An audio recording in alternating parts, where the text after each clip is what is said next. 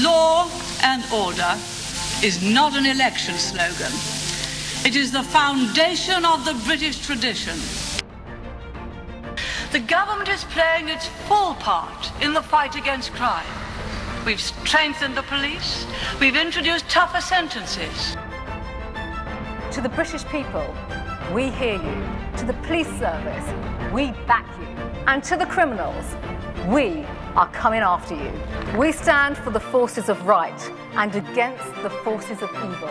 We stand for the law abiding majority and not the criminal minority.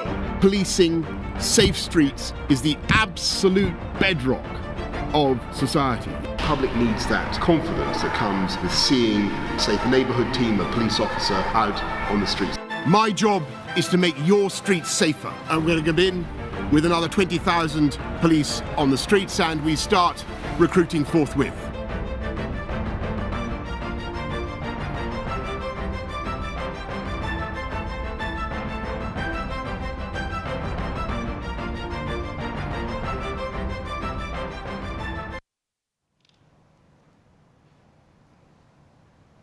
Good afternoon, everyone. As someone who is first and foremost a grassroots Conservative Party member, I'm sorry that we're not together in Birmingham this week. As we all know, the world has changed drastically since we last met. COVID is the most challenging global health crisis in many of our lifetimes. It has tested us as a country, but it has also brought us together, sometimes in tragedy. And I know you will all join me in mourning every person we have lost, but also in determination. The fight against this disease is by no means over. But as our Prime Minister has said, if we stick together and all play our part, there will be better days ahead. Because it is at times like this that we are all forced to reflect upon what is most important to us all. And we find the answer in the things that bring us together family, community, country, our sense of fair play. Which means, on the one hand, supporting the hard working majority who play by the rules and on the other hand, taking tough action against a minority who do not, delivering a firmer and fairer system for all. And that is the approach that I take when it comes to law and order, to uphold the rights of the law-abiding majority and not the criminal minority, to stand proudly alongside the brave men and women of our police and security services, to remain driven by the people's priorities and to deliver on them. Just over a year since Boris Johnson became our Prime Minister, the thugs, the criminals, the terrorists are in no doubt of our determination. And we've already recruited over 4,300 additional police officers. That means more bobbies on the beat, keeping our families, our communities, and our country safe. In June, we saw the United Kingdom's biggest ever law enforcement raid, led by the National Crime Agency, demonstrating that under this government, serious and organised criminals will not get away with their crimes. And while some on the left have called for us to defund the police, we have provided them with the biggest funding increase in a decade. We've given them an additional £25 million to roll up county line drug gangs. With this funding alone, the police have shut down over 300 drug lines. They've made over 2,600 arrests, protected vulnerable children. We are going after the ringleaders while protecting those being exploited. We are supporting our outstanding counter-terrorism, police and intelligence agencies. We are passing the toughest terrorism sentencing legislation in decades so that convicted terrorists spend more time behind bars. Because as Conservatives, we will always put your rights above those of criminals and terrorists. That is firm, that is fair. This year, we have asked our police service to do more than ever before, and they've done so with relentless courage, commitment, and professionalism. As well as policing this deadly disease, we've seen our police on drug raids, breaking up illegal raves, and dealing with violent and abusive protesters. This government will always defend the right to protest. That is a fundamental pillar of our democracy. But the hooliganism and the thuggery we have seen is not. It is indefensible. There is no excuse for pelting flares at our brave police officers. There is no excuse for throwing bikes at police horses. There is no excuse for disrespecting the cenotaph or vandalising the statue of Sir Winston Churchill, one of the greatest protectors of our freedoms who has ever lived. It is not acceptable for the mobs to tear down statues and cause criminal damage across our streets. It is not acceptable for thugs to assault our police officers just for doing their jobs. As our police walk the line of duty, I want every one of them to know that I have their back. They have the backing of our party, our government, and our Prime Minister. We work closely day in, day out with chief constables, policing bodies, and the Police Federation to ensure that they have the tools, the support, and the powers they need. Training and equipping 8,000 more officers with tasers, empowering them to stop and challenge those who have been known to carry knives. Whenever I have the privilege of accompanying officers on patrol across the country, I feel proud to see them in action, proud to see our brave officers support our communities, proud to watch them protect us on the streets, proud to witness their selflessness as they walk the beat. This sacrifice is epitomised by names we know for the saddest of reasons. PC Andrew Harper was a hero, killed after responding to a call for help. And in recent days, we have seen another brave officer killed in the line of duty, Custody Sergeant Matt Ratana. In his pursuit to protect others, he made the ultimate sacrifice. These two officers represent the very best of us. They will never be forgotten. It is in the memory of Andrew and Matt and others like them that we will continue to act to protect those on the front line.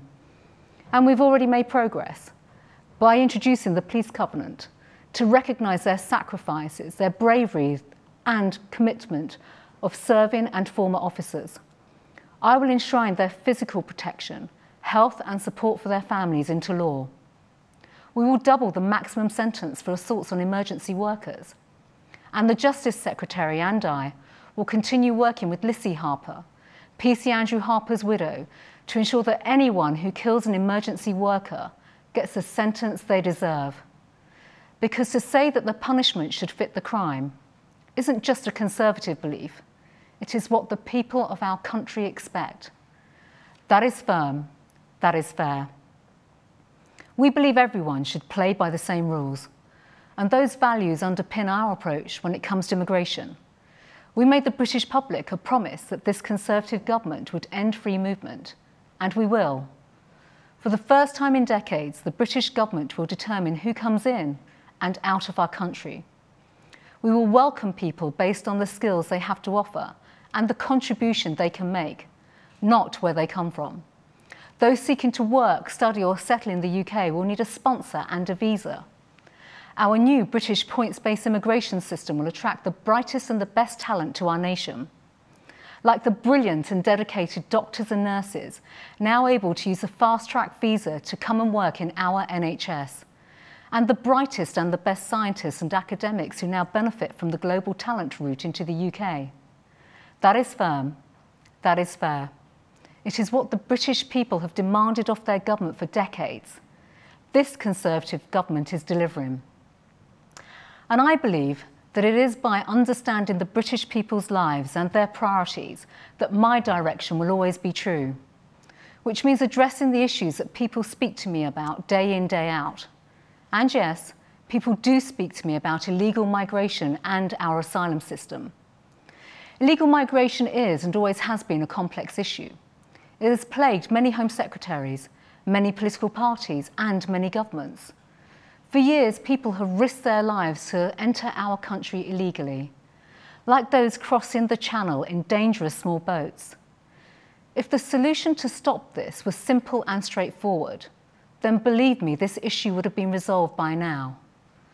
A fair asylum system should provide a safe haven to those fleeing persecution, oppression, or tyranny. But ours doesn't, because our asylum system is fundamentally broken and we have a responsibility to act. Right now, the most vulnerable are stuck in this broken system with over 40,000 other people. Almost half of these claims take a year or more to reach a decision, costing UK taxpayers over £1 billion each year, the highest amount in almost two decades. And because of our broken system, the way people arrive in our country makes no difference to how their claim is treated. Let me give you three examples of how our system has failed. Take the example of a young person from Syria who arrived legally to the UK to work and contribute to our country. While they were here, the conflict in Syria deteriorated, making it unsafe for them to return home when their visa expired. To guarantee their own safety and protection, they had no other option but to claim asylum here. But they had to wait over 17 months for a decision. That isn't fair. Or the example of someone who came to our country on a visa but went on to abuse our values and our laws by committing an abhorrent crime. Having served a spell in prison, they filed repeated legal challenges to stop their deportation, followed by numerous meritless asylum claims so that they could stay in our country. It took several court hearings at a cost to the taxpayer of tens of thousands of pounds before we could finally do the right thing and remove them. That isn't firm. Or take the example of someone who enters our country illegally on a small boat, travelling through multiple safe EU countries, France, Italy, Spain, shopping around for where they can claim asylum, making that final and extremely dangerous channel crossing to the United Kingdom, while lining the pockets of despicable international criminal gangs. Our broken system is enabling this international criminal trade. It is disregarding the most vulnerable, elbowing women and children in need to the side, trampling over the weak. That cannot be right. All while the criminal gangs laugh in the face of the British people. Well, I will not be complicit in that. So I will introduce a new system that is firm and fair fair and compassionate towards those who need our help, fair by welcoming people through safe and legal routes, but firm because we will stop the abuse of the system. Firm because we will stop those who come here illegally making endless legal claims to remain in our country at the expense of the British public. And firm because we will expedite the removal of those who have no legitimate claim for protection. After decades of inaction, by successive governments, we will address the moral, legal, and practical problems with the asylum system. Because what exists now is neither firm nor fair. And I will bring forward legislation to deliver on that commitment next year. I will take every necessary step to fix this broken system, amounting to the biggest overhaul of our asylum system in decades. But I'll be honest with you, this will take time. So as we overhaul the system, I will accelerate our oper operational response to illegal migration. We will continue to hunt down the criminal gangs who traffic people into our country. I will continue to use the full force of our National Crime Agency and intelligence agencies to go after them. We will make more immediate returns of those who come here illegally and break our rules every single week. And we will continue to examine all practical measures to effectively deter illegal migration.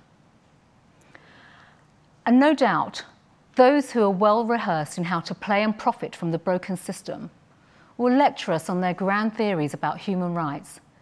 And yet they seem to care little about the rights of the most vulnerable who are fleeing persecution, oppression, and tyranny. What about their right to live their lives securely and free from fear? That is the most fundamental right. And we've already heard from the Labour Party claiming that lives will be lost, but lives are already being lost. So do not let them peddle a false narrative that Conservatives do not have a proud history of providing a safe haven to the most in need. From the expulsion of Ugandan Asians from a repressive regime to proudly resettling more refugees from outside Europe than any other EU country, to supporting campaigners fleeing political persecution in Hong Kong under Conservative leadership, the United Kingdom has and always will provide sanctuary when the lights are being switched off on people's liberties. and for those defending the broken system, the traffickers, the do-gooders, the lefty lawyers, the Labour Party, they are defending the indefensible. And that is something I will never do. If at times that means being unpopular on Twitter, I will bear it. If at times it means Tony Blair's spin doctor mocking my accent, so be it. And if at times it means Labour members of Parliament attempting to silence me because I do not conform to what their idea of an ethnic minority woman should stand for, I will stomach it. Because as Conservatives, we do not measure the depth of our compassion in 280 characters on Twitter, but in the actions we take and the choices we make. This Conservative government will continue to stand up for the hard-working, law-abiding majority who play by the rules and take action against the minority who do not, providing a safe haven to those fleeing persecution, oppression or tyranny. But I will not be complicit in an international criminal trade in asylum seekers, elbowing the most vulnerable to the side. Reform the system, prosecute the criminals, protect the vulnerable. That is what a firm but fair asylum system should look like. That is what I intend to deliver. As Conservatives, we will protect the most in need and put the rights of those who respect the rules above those who take our country for a ride. Because without firmness, there will be no fairness.